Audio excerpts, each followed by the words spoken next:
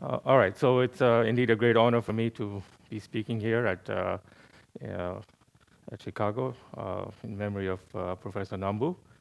Uh, many people yesterday mentioned two of Nambu's most influential papers.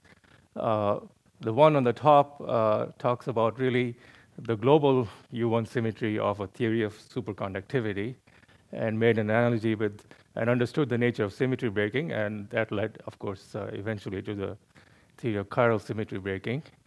Uh, on the other hand, the earlier paper about gauge invariance in the theory of superconductivity seems to be referring not to a, a global symmetry, but, but a gauge invariance, uh, and connecting that to what we would call today the presence of the Higgs particle. So there's really a, a subtle difference between uh, these two physical ideas, which are often mixed up. And, and it gets a bit confusing because uh, in the case of electromagnetism, the actual gauge theory is very weakly coupled. You just treat it in a mean field or a Gaussian approximation. And certainly in condensed matter, the velocity of light is essentially infinity. Um, so what looks like a global symmetry in one language is really a gauge invariance. Uh, anyway, so these papers of Nambu clarified uh, many of these issues, and uh, um, and will play also a role in, in the things I'm going to discuss today. So in high temperature superconductivity, we're going to really treat electromagnetism uh, as just a global U1 symmetry. So the, there's no dynamical electromagnetic gauge field, uh, but there's just a global U1 symmetry in the theory. Uh, but nevertheless, if you take a system of electrons with sufficiently strong interactions, uh, they can form very complicated uh, quantum ground states. And in the modern language, you'd say they'd be states which have long range quantum entanglement, meaning they're not smoothly connected to any simple product states. Um, and when we think about such states like the fractional quantum Hall state that, uh, uh, that we just heard about, uh, you need uh, the language of gauge fields. You need emergent gauge fields, which are generally at strong coupling, uh, to come up with a proper description. So, of course, the most celebrated example of this description is the fractional quantum Hall effect. Uh, but there's been a long effort over the last 20 years to understand the high temperature superconductors, especially the highest temperature superconductors found in the hole doped copper oxide compounds. Um, so that theory is still very much work in progress in many ways, but there have been in the last four or five years a number of exciting experimental developments. Uh, and I'm actually going to focus on just one of them, a very recent one, and try to make the case that uh, this experiment, uh, along with a number of others that I won't have time to talk about, uh, does uh, start to support the case that even in the high temperature superconductors, we do have to use the same language of strongly coupled uh, emergent gauge fields. Okay, so you know, any talk with the cuprates I give to a general audience immediately gets confusing because it's a very complicated material. There's no simple theory of everything that uh, Dam Son just wrote down that you can just write in one line. It's a, it is a complicated crystal with many different elements. Uh, but I hope uh, if you stay with me, I'll try to explain everything in simple pictures. In the end, also, I think there is some simple microscopic Hamiltonian uh, which realizes some interesting and novel phases, which also have an essential simplicity. Okay, so first of all, you started with a very complicated crystal, but you focus on just one copper oxygen layer. And for the rest of the talk, I ignore the coupling between the layers. And then furthermore, in a single copper oxygen layer, let's just work, uh, think about the, these uh, d orbitals, one on each copper site. So we're going to change the density of electrons on those d orbitals and just ignore all the other orbitals. So then you just have a square lattice of electrons uh, with variable density. So that's getting simple enough. And as a function of temperature and density of those electrons, you have this rather amazing phase diagram, which is only now starting to really fill out and understood. Uh, so I won't really have the time to explain all these acronyms. Uh, I'm just going to focus on a few of them. Uh, and anyway, just you have to take my word for it that through you know mostly remarkable experimental studies over nearly two decades, I think there's wide consensus that this basic phase diagram applies to a whole series of compounds, uh, of which YBCO uh, is, the, is the most well studied and best characterized. So the first feature of this phase diagram is, uh, is the AF at the very left. That's the antiferromagnet, where you have exactly one electron on each site, and they form a structure with half of them up and the other half down. Uh, and you can very clearly see this in various scattering experiments.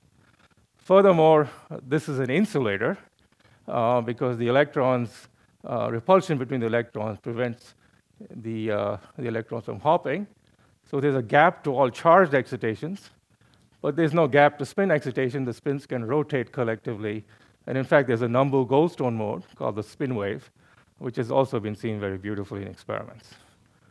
So the question we want to ask is what happens when you take this antiferromagnet and then remove a few electrons? So this P here is the density of electrons. So if I start with the antiferromagnet and I remove density P of them, now the Coulomb repulsion doesn't keep these holes from moving around. They can move around with, uh, with no energy cost uh, because this, this electron could hop here, for example. So you, so you can then ask the question, what happens when these holes become completely mobile? So if they be, and there's enough of them. So if they become completely mobile and there's enough of them, well, first of all, you expect the spins to average out. And so you might expect you're going to get a metal. And the first question you want to ask then about that metal uh, is what is, what is the density of holes in that metal and what is the size of its Fermi surface? So, so there's a standard theorem called the Luttinger theorem in condensed matter that uh, uh, restricts the size of that Fermi surface. Uh, in this case, I'm going to use the language of holes rather than electrons. This has to do with the nature of the underlying band structure of the material. So, but I, since I don't want to go into that complexity, com complexity, let me just say I'm going to talk about holes rather than electrons uh, all the way through.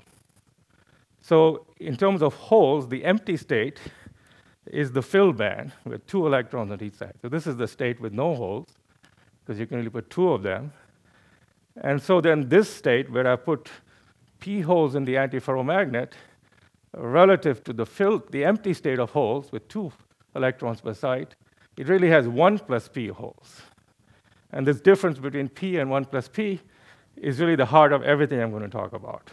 And it's the, you know, the heart of the complexity uh, of the theory. So then there's a, a theorem called the Luttinger theorem uh, that says that if you form a metal of fermionic particles uh, with density 1 plus p, then the size of the Fermi surface, uh, the area enclosed by the Fermi surface, modulo factors of 2 pi that I'm going to ignore, uh, should be 1 plus p. Okay, and you know, this is of course also very much related to the composite fermion Fermi surface where the size was proportional to the magnetic field, as Dam Son just talked about. Um, so now if you go back to the phase diagram, uh, I'm going to go all the way away from the, this limiting case that's well understood to another limiting case on the right called the FL, or the Fermi liquid, where you indeed see in emission experiment exactly the right size of 1 plus p. Uh, so that's good. So those two limits are extremely well understood. So another way to measure the size of the Fermi surface, which I'm going, and this is for the purpose of explaining the recent experiment, uh, is by measuring the Hall effect, again connected to the talk we just heard. Uh, so if you have the, the first, first, of all, the Fermi surface is the state, is the surface in momentum space separating the states of occupied and empty holes, let's say.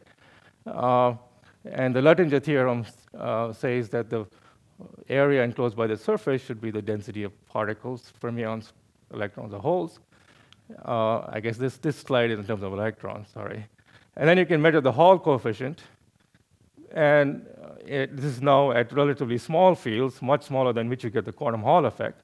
No one's ever, you know, in, in something like uh, copper oxide compounds, you, need, you would need several hundred Tesla if you had any sign of a quantum Hall effect because the density of particles is so much higher than the semiconductors uh, that, uh, in which the fractional quantum Hall effect is seen. Uh, so this is at very low fields. Uh, in that case, you will get the, the, the, Hall coefficient in the, as explained in the original theory of Hall in the 19th century. Uh, and then in the modern language of Fermi liquid theory, you can relate the Hall coefficient to the volume enclosed by the Fermi surface. So for the purpose of this talk, the Hall coefficient, uh, if, you, if you measure a temperature-independent Hall coefficient, it's just a proxy for the volume of the Fermi surface. Okay, so again, as a so now I'm going to show you the very recent experiment which actually came out in Nature just this week, uh, who, who have done a high field, careful study of the Hall coefficient as a function of, of density. Now you might say, you know, why did it take 20 years to do this obvious experiment? Well, of course, there's a long story there. You have to make the best crystals. You need fields of 80 Tesla and the right temperature range. Anyway, so uh, it's, it's, it's easy to be you know, deceived by how difficult and ingenious these experiments actually are. Uh, anyway, so, so at high P, and indeed they do see uh, a Hall coefficient, which is proportional.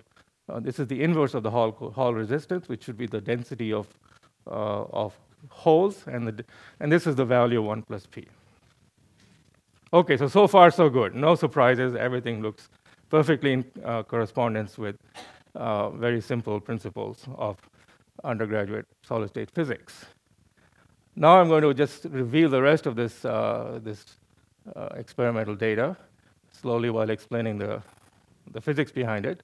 Now, if you look at very small p, uh, you see a Hall coefficient, inverse Hall coefficient of p. So here the density of carriers is p, but not 1 plus p. Now you would say, well, that's strange. But it turns out that's actually not that mysterious. It can be quite well understood. And it has to do with the fact that what we believe happens at very low p is a breaking of translational symmetry. So the Luttinger theorem, uh, really of the size of the Fermi surface, holds modulo one electron per unit cell per spin. So if you have a spin density wave that doubles the size of a unit cell, uh, then you know you, the insulating antiferromagnet has two electrons per unit cell. And so that two doesn't count anymore. Uh, so as a result, if you break the, uh, break the translational symmetry, you can get smaller Fermi surfaces, and everything is still consistent with what you expect. Then, uh, over the past five years, the focus of the study has been in another bit of complexity, the kind of thing that particle physicists hate to hear about because things are getting so complicated, but it's still simpler than a standard model. Uh, uh, there is another broken symmetry in this green region, and uh, that's really been the focus of so much work over the last five years. Uh, and uh, it, uh, there it's the charge density wave that forms, and it reconstructs the Fermi surface into even in a even much more complicated way that we're still debating and not well understood. But fortunately, this whole region can be very well uh, identified because it turns out the Hall coefficient here even changes sign. So we're just going to ignore it for the purpose of this talk. So really what's happening here uh, is the following, that uh, at high doping, you're getting Fermi liquid conventional behavior. At low doping, there's lots of interactions, uh, and this is giving you some correlated states, but the net effect of the interaction seems to be some sort of broken symmetry. Uh, and if there's a broken symmetry, then after you go to the right unit cell, things again start looking conventional at low energies. So the recent excitement is the final little piece here between around 0.15 and 0.19, uh, where from all the experimental uh, evidence so far, there is no broken symmetry. So what you expected in the absence of any broken symmetry, once you got out of the green region, you would be back to 1 plus p. And that's really most of us, what most of us expected. What you find uh, is you know, several well-identified points where the Hall coefficient, the, the, density is much smaller than, in fact, very close to p, uh, and rises rapidly to 1 plus p. Now, this is at some finite temperature, and it may well be at in the limit of zero temperature and high fields, this will stay along the line p and then jump to 1 plus p. That's, of course, uh, very much a topic of current debate. So here I want to turn the issue from these and many other experiments which I haven't discussed. Uh, in fact, we were talking about this possibility through many different experiments uh, several years ago. Uh, is it can you get a metal? Is it possible to have a metal with no broken symmetry and the violation of the Luttinger uh, theorem for the size of the Fermi surface? And so this particular metal, yes.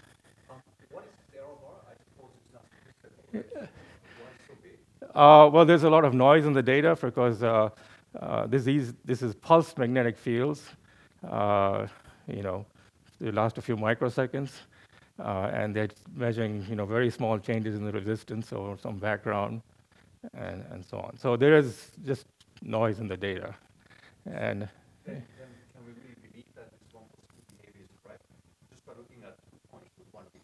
Okay, there's many other experiments. Uh, yes, I think you know to the accuracy, we are, we are trying to just look at the difference between this and this, and that's certainly clear cut.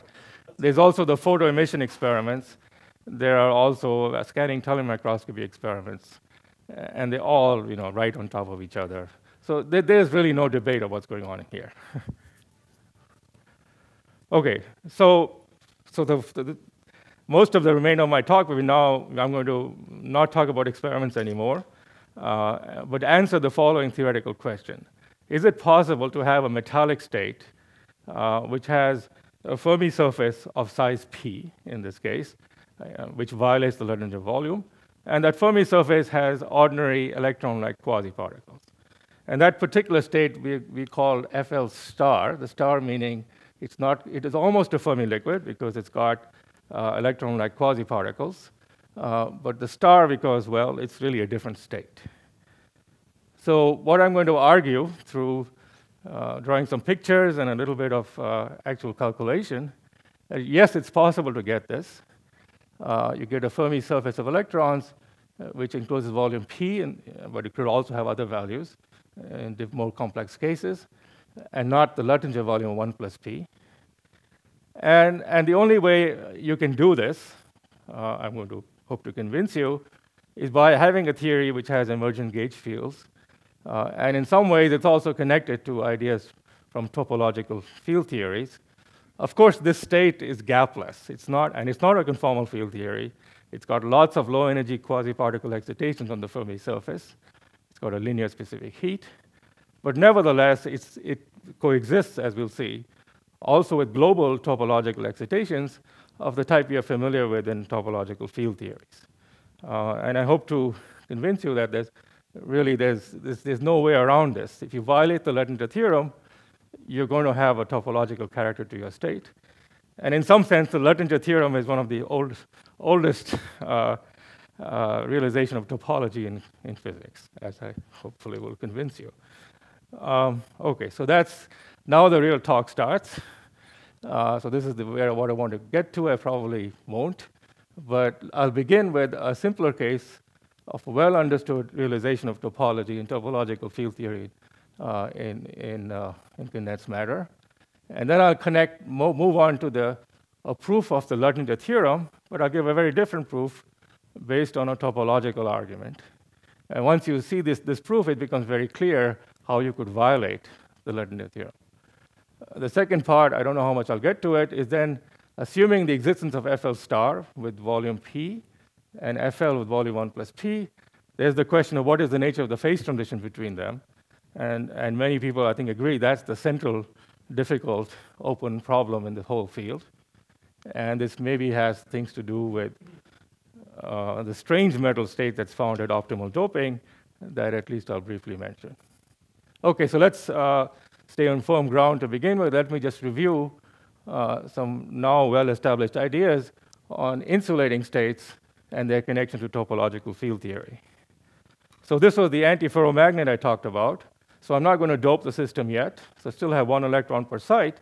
But now imagine that I frustrate the system or something else, and, and the electrons form singlets with each other in this way. Uh, so that lowers at least the energy of the exchange interaction on that bond. Uh, but the other bonds are not too happy, so you can make all of them happy by resonating between the valence bonds. So you get this famous resonating valence bond state, uh, which was actually proposed uh, a long time ago by Pauling as a theory of metals, uh, by analogy with things like graph, uh, by the resonance in, of valence bonds in graphene. Uh, oh, benzene, sorry. he didn't know about graphene. uh, so as, as you'll see by the end of my talk, actually Pauling uh, wasn't right. Uh, it's not a theory of metal like lithium, but it is almost a theory um, of this FL star state. Uh, later on, in a very influential work, Anderson pointed out that the right playground for Laughlin's wave function is in fact in Mott insulators, and you could imagine Mott insulators where you realize the state. In modern language, we would say that uh, the Pauling-Anderson state is really the first proposal, as far as I know, of a quantum state uh, that has long-range entanglement. Long-range entanglement, for example, being that if you compute the entanglement entropy, uh, there's a universal topological deficit in the entanglement entropy, and so on. Uh, and it's really the first state that Laughlin state was the next one, but this is uh, even earlier. Uh, so jumping ahead to many years of developments, uh, today we would say that this kind of state is described by the following topological field theory, uh, which is called the Z2 spin liquid, uh, because in these early works we formulated uh, as a theory of uh, compact U1 gauge field coupled to a charge 2 Higgs field. Uh, but the essential topological and long-range properties are described by doubled U1 Chern-Simons theory, two U1 gauge fields, and a K matrix, which is this very simple matrix. And this is really the simplest theory which preserves time reversal uh, and has a non-trivial topological properties, in particular, more than one ground state on a torus. And, it, and now there's you know, huge amount of evidence that for certain spin models, uh, this state is indeed realized. Uh, and uh, you know, it, it's very much the same character of what Pauling and Anderson proposed a long time ago. So these connections between discrete gauge theories, compact U1 gauge theories, Chern-Simons theories have also much appeared uh, in the particle physics literature uh, by many people in the audience. Uh, the early paper by Fradkin and Shenker, which connected discrete gauge theories to compact U1 gauge theories. And this paper that Nati told me about, but I don't understand it at all, but apparently it says similar things, correct? okay. all right, so in this language, this Chern-Simons theory uh, has one basic property that if you put the theory on a torus, then it has a degeneracy in the ground state because you can get non-trivial fluxes uh, through the cycles of the torus, and these fluxes along different cycles of the torus are, don't commute with each other, and then when you diagonalize uh, that resulting Hamiltonian, you get a ground state degeneracy. Uh, in, in the condensed matter language, this is not an exact degeneracy, but in a system with a gap, it approaches uh, degeneracy in the infinite volume limit. Now, you can also see this degeneracy, as many people pointed out, uh, in this Pauling-Anderson wave function. So here's the one snapshot of the wave function, we, and we make a cut, which is uh, the same as the Wilson line in the Chern-Simons theory. Now you make this cut here, uh, and, you, and you notice that there's a conservation law. And the conservation law is that the number of these valence bonds crossing this imaginary cut is preserved mod 2. So as I resonate from any local rearrangement, uh, so I do some local rearrangement, now it's 4, uh, 4, 2, uh, you know, 2, 0, and so on. So no local rearrangement can possibly change the parity uh, of the number of bonds crossing this cut. So there's two possibilities, the even and the odd uh, states. And if the system is large enough, they have almost exactly the same energy since they only differ by some global, uh, uh, global quantum number, uh, which is very hard to access by any local Hamiltonian. So that's the, the physical picture of why this state is topological and how it's connected to Chern-Simons uh, gauge theories. All right. Uh, so topic two.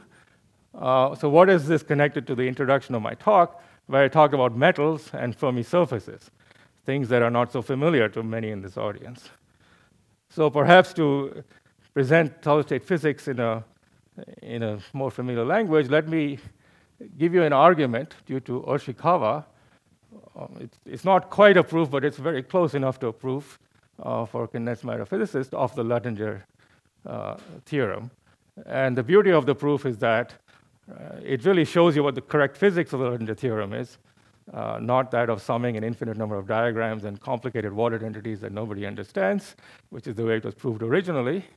But it also shows you uh, how you can get around it, what you need to get a quantum state that wouldn't obey it, which is also a metal.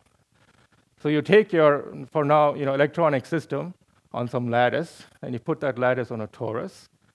Uh, so you take n particles carrying charge q of, this is a global charge q, on an Lx by Ly lattice. So I'm actually going to go through a little bit of this calculation. Uh, now we pierce, now we're going to gauge that global symmetry. So it turns out for every global U1 symmetry, there is a Luttinger theorem. So in any system that has a global U1 symmetry, and you put a chemical potential conjugate to that global symmetry, there, has, there is a theorem that you, you need to obey. And the one way to obey it is by having a Fermi surface, but as we'll see, there are other ways of obeying it. Uh, but right now, I make no assumption. This is, a, this is rigorous. Uh, so we're just going to adiabatically insert one flux quantum through this hole of the torus. So, so right now, uh, this is just an exact result. I'm not take any quantum system. This could be an insulator, it could be anything. Right now. Well, uh, so it's a finite system, so I'm inserting it very slowly, right? Compared to the to the the gap, the, the discreteness of the energy level. Okay. So I insert one flux quantum adiabatically. So now, as I'm inserting this flux quantum, I can always choose the gauge to make uh, to preserve translational symmetry along the x direction. So there's a momentum quantum number, and as I insert flux, there's an electric field that acts on the particles, and the system momentum will change.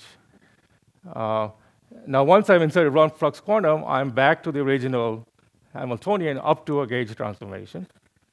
Uh, and from that fact, you can prove that the momentum of the final state minus the momentum of the initial state uh, is, is 2 pi times the number of particles divided by Lx, mod 2 pi.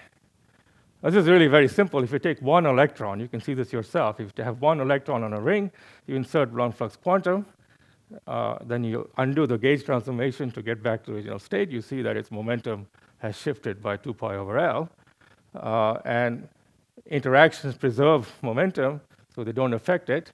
And so you just add up the, the momenta of each of the electrons, and that's the answer. So that's the, the exact statement.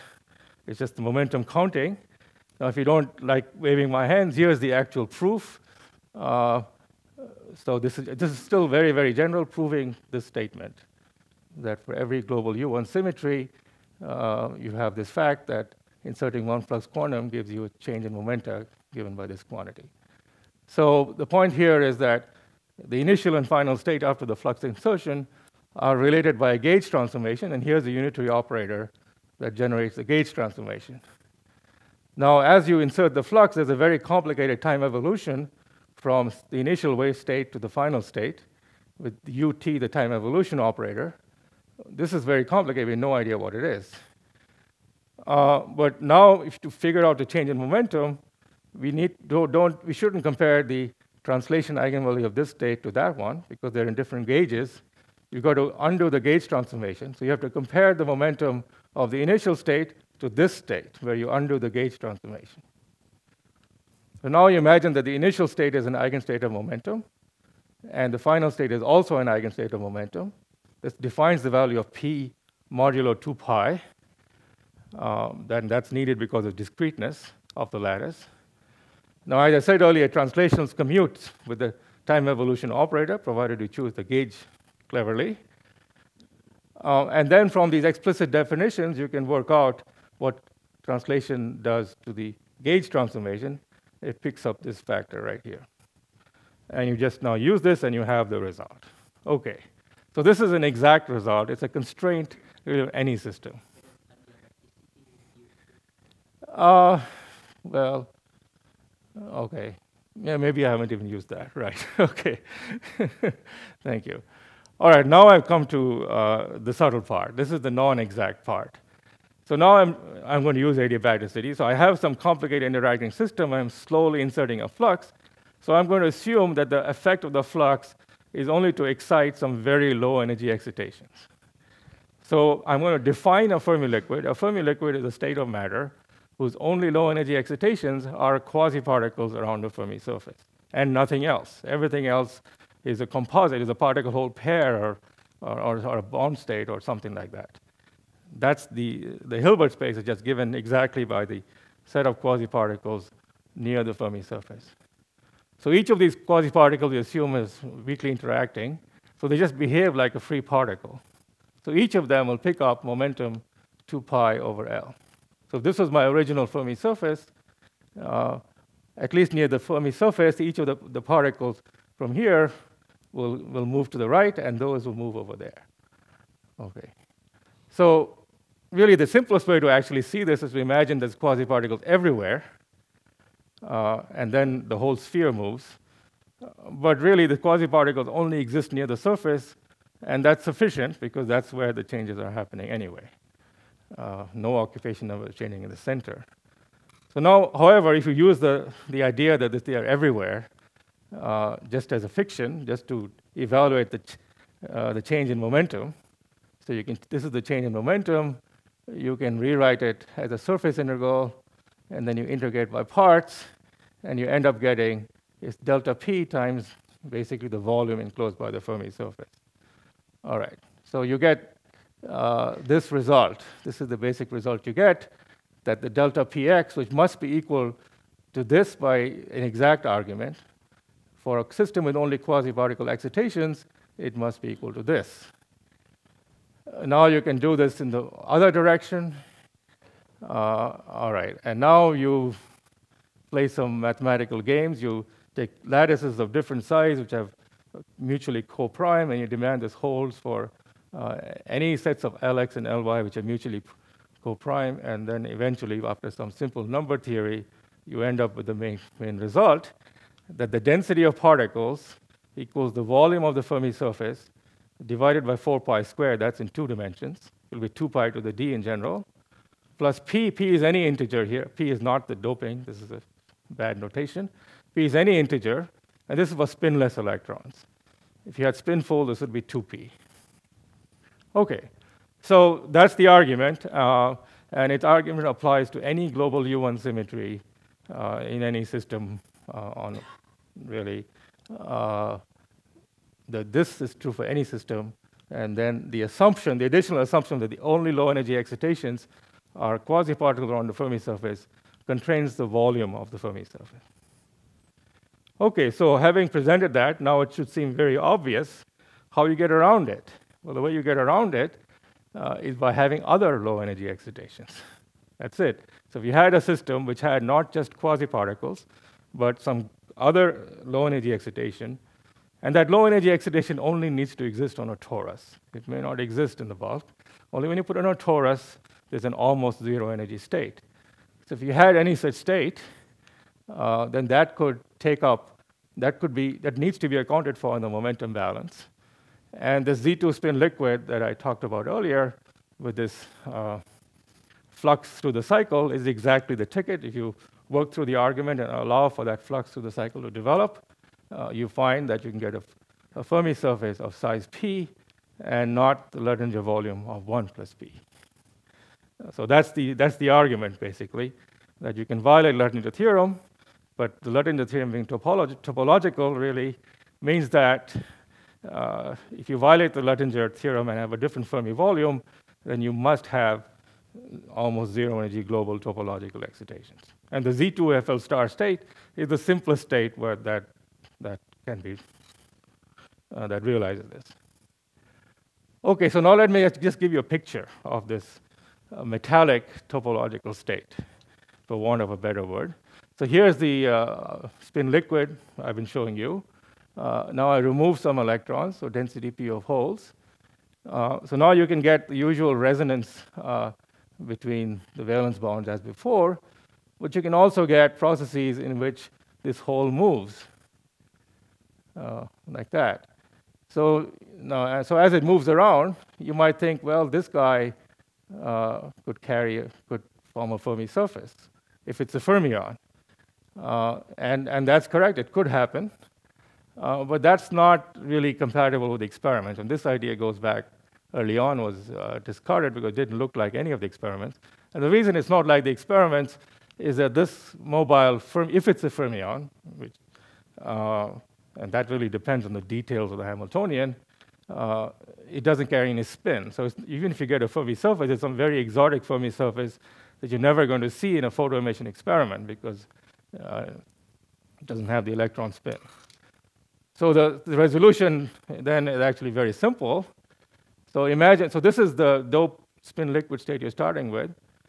But imagine, uh, for some reason, some of the uh, valence bonds break apart into these spins. And the spins move around, and then eventually they all go next to the hole. And then for some reason, there's an attraction between these two. Uh, so they attract and bind and form a new bond, but this bond is just an electron, it's a single electron, which is hopping back and forth between two sides. So now I have a new model of dimers with dimers of two colors, uh, the blue and the green. And this state, and these green guys have to be fermions. That's because they have the same quantum numbers as the electron. Uh, they got charge E um, and spin a half. And now you can imagine some liquid-like state in which the, the blue and greens are exchanging, and so the green being fermionic particles are moving around, they can form a Fermi surface, and the blues uh, can resonate, and that represents the emergent gauge field. So the point is that this very simple picture, cartoon, shows you how you can get a state with both features. You can have a Fermi surface of the wrong volume, and it has the topological character because everything is a dimer. In particular, the old argument for the ground state degeneracy goes through without any trouble. You again count the number of dimers cutting uh, the red line, and it's also preserved modulo 2, provided you count it in a colorblind way. You count both the green and the blue. So, so you can get a state where you don't have the right, you have a Fermi surface of the wrong volume, and you still have, you know, the, the Chern-Simons theory describing the topological degeneracy basically preserved. Anyway, so, so that's, the, uh, that's the story then in a very simple manner, just in terms of cartoon picture, how you can get a state uh, which violates the, the Luttinger theorem. And, these recent experiments, this is certainly a personal point of view. I shouldn't say this is by uh, you know, universally accepted yet. The very recent experiments, I claim, uh, really offer strong evidence for, for this kind of state. As understanding the underdope regime. Okay, so I finished at 11:30. Is that right? Right. Okay. Um, all right. So now uh, let me now go back to the phase diagram and uh, tell you about some very briefly about ongoing work on, on the issue this raises. So what I've argued so far is that this PG region uh, is, is this FL star state. It's a Fermi liquid with an asterisk because it's also topological. Uh, I, have, I, won't say anything about the DW, but that's been the story of my life for a long time. Uh, and then at high doping, I showed you you have this FL state. Now, so in between then, you have possibly one or maybe even more quantum critical points. And, and the general idea, which is, I think, quite generally accepted, that whatever the quantum critical point is here, as you can see, my favorite one would be the one between FL star and FL, uh, transition between two different metals. Uh, it's a confinement transition because here you have a deconfined gauge field and here you don't. Uh, controls this strange metal that's up there at higher temperatures. Okay, so I'm going to come back to the strange metal in a few minutes, uh, but let me just give you the flavor of the, uh, the kind of theories you need to have this, such a phase transition. So this is something that I've been thinking about for many years, and uh, what you get from the constraints, and this sounds complicated, but this seems like, to me, is like the minimal theory that can give you a transition between a small Fermi surface and a large Fermi surface. This thing, oh, sorry, there should be no star there, I'm sorry. It's Z2 FL star at FL. Uh, so this is a usual Fermi liquid, and, and this is a deconfined fractionalized state with also electron quasi-particles. So the simplest theory that uh, fits really all the experimental constraints, according to me, uh, is a theory with actually which is an SU2 gauge theory, and uh, you can derive it, you know, in kind of a hand-waving way of the kind of things that. But I'm not presenting it because I, I suspect this audience that derivation won't go over very well. But in the end, you get a theory which uh, has a, a, you postulated a deconfined SU2 gauge field, a fermion uh, which carries fundamental SU2 gauge charge and has a large Fermi surface. So it's got a, uh, now that, the two of these, the combination of two of these uh, is the theory of, uh, of the, what is the color, the, you know, quark gluon plasma, which is believed to become a color superconductor. So this may also become a color superconductor. However, right at the critical point, uh, there's a complex Higgs field, which transforms as an SU2 adjoint. Uh, and this, when the Higgs field condenses, you get the Z2FL star. Uh, and when it's, when, it's, uh, when it's gapped, then probably you go into the color superconductor or perhaps the Fermi liquid. And then you need another boson to carry the spin. Anyway, so if you look at the general phase diagram of a theory like this, you can, I mean, the bottom line is you get a transition between a Higgs phase, which where a Z2 gauge theory is left over and realizes the Z2FL star. Uh, okay, so there's, there's two directions, so you have one Higgs field for, so you have two real fields in two directions, so there are really four. But so it's an SO3 Higgs field, if you wish. It transforms like a matrix, three by three matrix of SO3, and that's why it breaks SU2 down to Z2. So there's a Z2 uh, phase, which is precisely the phase I've been describing so far. Uh, this is a you know, field theoretic way of getting that uh, thing I presented to you by simple pictures. But the same theory can also have confining phases um, across some ill-understood intermediate uh, states. And that this is pretty much, very much work in progress, uh, but it, it's really, to me, quite amazing to see how this very simple model gives you, you know, a theory then which has uh, SU2 and it has the global U1, so it's kind of like an SU2 cross U1 theory too, but it just comes out of just very simple constraints on, on the nature of these states. All right, so in the last 15 minutes, I'm going to change gears a little bit. Uh, what I want to talk about here, rather than instead of focusing specifically on a particular theory of the strange metal. So what this is meant to be ultimately is to describe this strange metal here in this no man's land between the pseudo gap and the Fermi liquid. This is, uh, this is the region with the famous linear resistivity. So what's turned out, I think, to be a very fruitful way to think about this is to think of this strange metal as uh, one element of a very broad class of systems. And the common property between all these systems uh, is that they are systems which are not Fermi liquids. So first of all, they are compressible systems. There's some density that's conserved and whose density you can vary smoothly. Uh, and, and, and that global U1 symmetry is not broken but it's not a Fermi liquid, and it has, in fact, no quasi-particles. So strange metal and superconductors are one. The uh, graphene, we argued a few years ago, under the right condition, also realizes this. Uh, conformal field theories turn out to be the simplest example of strange metals once you add a weak chemical potential at finite temperature. Uh, and all of these are connected in some ways to the dynamics of charged black holes. Uh, so what I'm going to present to you are some recent experiments on graphene, which we can now understand from purely condensed matter methods. But the equations we wrote down for that strange metal in graphene, we first came upon by thinking about charged black hole horizons. But that's not the way I'm going to present it. So here's kind of a pictorial idea of what transport in metals looks like on the left, I have transport in conventional metals, and on the right, I have a strange metal. Okay, this is, of course, a cartoon, so don't take it too literally, but it's a very useful picture. So a metal has lots of electrons in a very dense gas, but most of the electrons don't matter. The only thing that matters are a few excitations near the Fermi surface. And those excitations near the Fermi surface just basically move independently of each other. So this, so there's a, so metal you know, it's called a Fermi liquid, but actually it's a Fermi gas. It's a gas like the gas in this room. Uh, these particles are moving all independently of each other. Now, these obstacles here are impurities. So you, you need them to understand any experiment.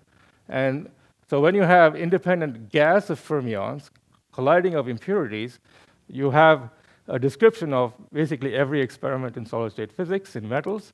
You have what's called ohmic transport. You get V equals IR, uh, or more precisely, J equals sigma E, and del dot J equals zero. Those two equations describe current flow in essentially any material. Okay, so that's the conventional theory. And the crucial property of this theory is that momentum conservation doesn't play any role. Um, you know, the, the, uh, the quasi-particles see an impurity before they see each other. So the momentum of the quasi-particle is very quickly lost. Here, it's a very different situation. Here, for you know, I don't, you know, imagine this is say some conformal field theory, and then you're talking about some excitations above the quantum conformal field theory, which are not uh, particles, and then you have some density of them. You turn on a chemical potential on a conformal field theory at finite temperature. So let me just use the language of electrons. So these are some particles which collide with each other so often that the particle itself ceases to exist. So it's just some set of colliding particles. But while they're colliding with each other, uh, they're preserving energy and momentum. So the collisions, most of the collisions of these particles do not give you any resistance, or uh, because there's complete conservation of momentum. So, so interparticle collisions happen more frequently than particle impurity collisions. So eventually, that little that fluid or this liquid, this is really a liquid, will go around the impurity, and how it goes around impurity then determines what you see in the experiment. Okay. Uh, all right, so now let me talk about graphene, which turned out to be uh, the example of the strange metal that I believe is best understood today.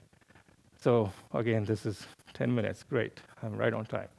Uh, so this is, uh, you know, okay, honeycomb lattice of carbon atoms is described as uh, Stone told us by four massless Dirac fermions. I've shown one of them. But now I'm going to apply a gate voltage on top of this, uh, change the uh, density of electrons.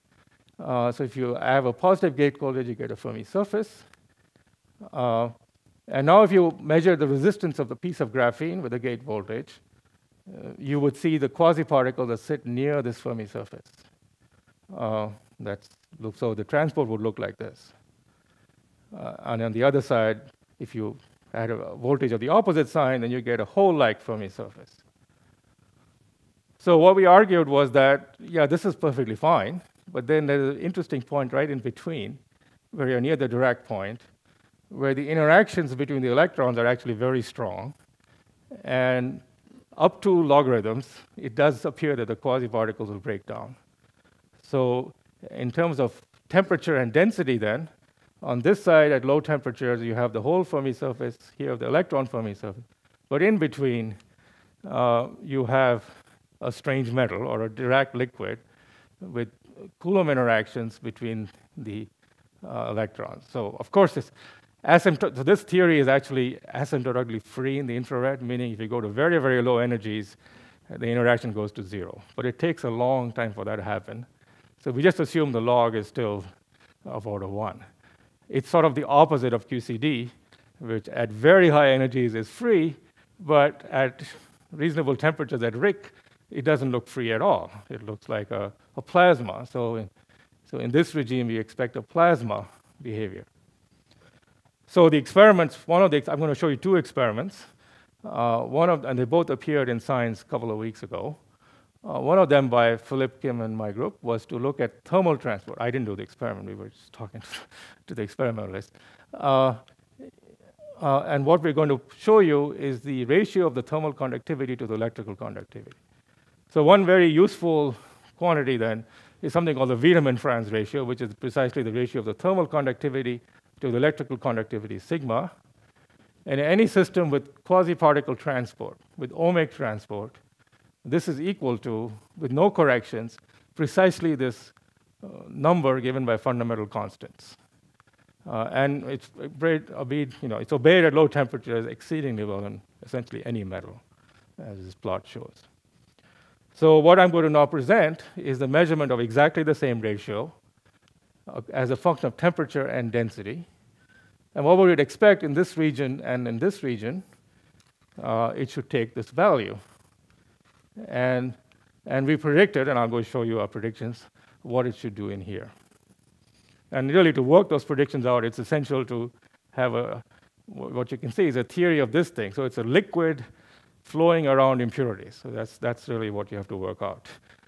Uh, so this is, these are the results in this color plot. And indeed, as expected, at low temperatures on this side and this side, you do see the Wiedemann-Franz value. Okay, the colors are a bit off. If you plot it up, it's very close to 1.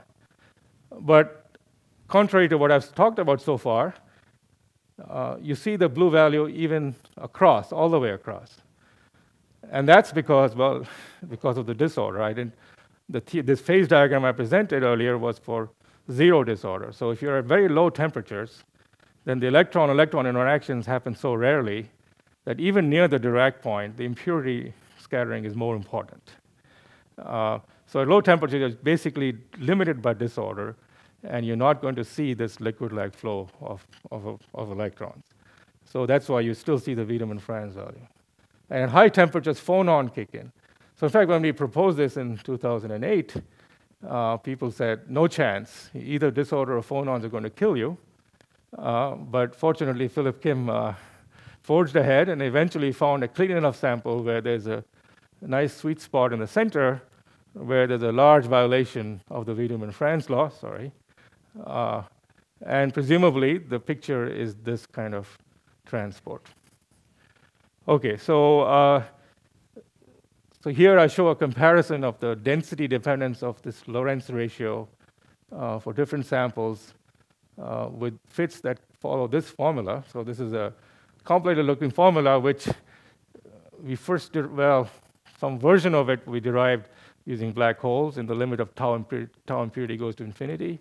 Today, this formula has been obtained by charged black hole solutions using massive gravity, using certain axion model, you get exactly this formula. Uh, you can also get it from relativistic hydrodynamics with momentum loss and many other and mem memory function methods and so on. Uh, so the basic formula assumes is in terms of the Fermi velocity, the temperature, the quantum critical conductivity, this is the conductivity of pure graphene at zero doping, uh, and the enthalpy density. And Q is the quantity we know very well, that's the density of electrons. And tau imp is the momentum relaxation time. So this is assuming point-like momentum uh, relaxation. Now, the model works reasonably well, but there are certain details that don't work, but I'm going to not go into that. There's, a there's an improved model that uh, my student Andy Lucas proposed, where rather than taking point-like impurities, you take kind of gently uh, modulated puddles of uh, electrons and holes, and, and that fits the data reasonably well. But let me just show you another very beautiful experiment. Another beautiful experiment. I'm not sure this is beautiful. Now, this one is certainly beautiful, a beautiful idea of Levitov and Falkovich. So imagine you have some sheet of metal and you inject some current. And now, if you solve Ohm's law, meaning you have transport like this, you'll find that this is how the current flows. This is, you know, the solution. If you had some, if you just made this thing a network of resistors, and you solved, you know, Kirchhoff's laws and V equals IR on the network of resistors between a source there and a drain here, this is the current pattern you'll get. Okay. On the other hand, if you took this same source drain configuration would you solve some version of Navier-Stokes equation, where momentum conservation is important. It's not perfect because there are impurities, but at least over some length scale, uh, momentum conservation is important. And what happens is that uh, the liquid-like thing that's flowing here will drag the electrons on the other side, and if conditions are right, you'll develop a vortex, where there's no such vortex here. So now you see in this region here, you have back, you have current flowing this way, whereas over here, you have current flowing the other way. Okay, so that's the negative local resistance. Uh, and this is seen in this experiment of Andre Geim and collaborators, again, a few weeks ago in Science. So this is the sheet of graphene. They inject electrons here. They measure the voltage over there. Uh, and at low temperatures, well, at moderately high temperatures also, they see this negative resistance. Actually, they see it over a much wider regime than our experiment saw the violation of Wiedemann-Franz law. So we're a bit puzzled by this data. Uh, but anyway, it's, it's in the right direction. And uh, I'm sure there's going to be many new experiments. So with a couple of you know, hints in earlier experiment, these are really the first two experiments to show uh, viscous flow of electrons in, in metals. Normally it's ohmic flow, but in a strange metal, where you have very strong electron-electron scattering, and that converts the electron gas into a liquid, and that liquid, and, and that happens on a time scale and length scale shorter than the impurity uh, spacing. So you need a clean enough system, um, and graphene seems to finally be clean enough. Anyway, so the, uh, the Harvard did a press release, and this is what the uh, artist came up with uh, when we told him that we had a metal that behaves like water. But anyway. uh, okay, so I, I, guess I'm basically done. So what I've talked about here in the second part of my talk is ideas on strange this strange metal regime. We're, we're certainly hoping that these ideas I've just presented that seem to be reasonably successful in graphene are going to be now applied to other materials, particularly the cuprates and other strange metals. Uh, and so now we have a kind of point of view, which in retrospect looks kind of obvious, but it's, it's an interesting history how these ideas developed, and eventually many different approaches using memory function, hydrodynamics, and holography all seem to be coming together. Uh, and in the first part of my talk, just to remind you, I talked about this other regime, the pseudo gap, where it's a much less strange object because it's made up of two well understood parts. It's made up of a Fermi surface of quasiparticles, electron-like quasiparticles, but a small one, and a topological field theory, uh, this Z2 spin liquid. Uh, and the coexistence of these two properties, uh, this wrong side of the Fermi surface and the global topological excitations are, we believe, required by these flux uh, piercing arguments that I presented. Thank you very much.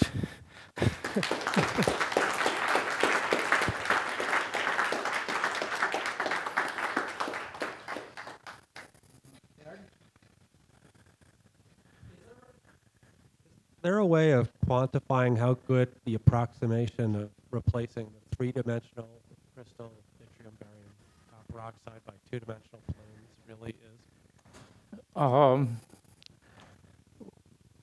quantifying. Well, I mean, we know, for example, that the resistance in the th third axis can often, well, for example, if when you go into a superconducting state, the penetration depth along the plane uh, versus the penetration depth on the third axis which is some measure of the coupling between the planes, is you know factor of 100 larger in the third direction. So it's you know on that order. The, the coupling in the third direction is much much weaker. You know, the same things apply to resistivity in the normal state. There's huge anisotropies to any property perpendicular to the layers. Uh, right now, I mean, right. So I think it's you know, once you go to something like uh, an ordered phase, like this density wave phase or the superconductor, then you have infinite correlation length in this direction, then certainly the coupling between the layers becomes important. So, but uh, if, so when you have long range order uh, with long correlation length, then you cannot treat it as a 1D, 2D system anymore. But before you get there, if you're talking about, you know, I think uh, much shorter scales here of you know, less than a 0.1 micron, then I'm, I'm sure it's a, all the experiments indicate uh, that it's a very good approximation. Actually, one, yeah, one, uh, one of the best one is just to look at photo emission. Uh, you know, the bulk photo emission that you see in this kind of data here. Uh, okay, I showed you at the very beginning this uh, Fermi surface there. So that, that Fermi surface is purely two-dimensional. And, uh, and, sorry, and you can uh, measure the warping in the third direction by quantum oscillation experiment. So that's also been measured, and it's a you know, couple of percent at most. Yeah. so it's this Fermi surface, just a cylinder with slight warping in the third direction. So, I mean, the idea is that each, especially if our picture of, you know, uh, this FL star or these topological states is correct, then the idea is that each layer forms this topological state, and then you couple them weakly together. Uh, uh, but that topological order, once it's formed in a, in a layered system, is completely robust to weak coupling. Uh, you get a 3D stacked topological state. Yeah. yeah. Do you have an idea what is the chance that they can see turbulence? I don't know. I mean, uh, that's that would be very exciting. People are thinking about it. Uh, no one's seen it yet, but uh, yeah, uh, uh, I think many people are. That's one of the races. I think the, the the experimental next set of experiments, one perhaps to see you know vortices physically, uh, vortex shedding or turbulence in graphene or some even cleaner system, or see similar effects in in not in graphene but in in in, in oxide in copper oxide compounds. Uh, I know many, many experimenters are thinking about that right now. So wait a few years, I, am sure there will, I expect there will be some, some progress. I mean, this idea on graphene, you know, it took, uh, in 2008, we were talking about these sort of experiments, and seven years later, I'm happy I'm still alive to see them. So let's see. So you mentioned the, the, one of the distinctions between the Z2 FL star and FL state was violation of Luttinger's theorem. I wondered if, if, you could discuss other signatures of the Z2 FL star, Z2 FL star state besides the violation of Luttinger's theorem. Is there, are there other clear signatures one could look for? Um, you mean experimental signatures? I mean, numerically, of course, there's many signatures. Well, so one was the Hall effect, right? That was the Hall effect is P. So that was a the signature that they've seen. So um, what we'd like to see next is quantum oscillations. They haven't seen that yet. Uh, these are dif difficult experiments at very high fields, but uh, maybe maybe they'll see those. Um, you know, there's of course these uh, these flux piercing experiments that Senthil and Fisher talked about a long time ago. Uh, I don't, you know, it seems like these lower temperature phases are confining phases, so I'm not sure those experiments will really work at low temperatures, but you know, one could now imagine doing a flux piercing experiment uh, across this transition here uh, and a functional magnetic field. So a high magnetic field, there seems to be a metal, which is Z2FL star, let's say. And then if there's a superconductor at slightly lower fields, that very difficult experiments could be done there. I mean, certainly that's not a regime people ever looked at. People are looking down here where it's not going to work, even. So that would be the smoking gun where you actually see something topological. Uh, but I, I mean, I, I would say that if you accept this theorem, this flux piercing argument, uh, then uh, measuring the wrong size of the Fermi surface is equivalent to measuring topological order.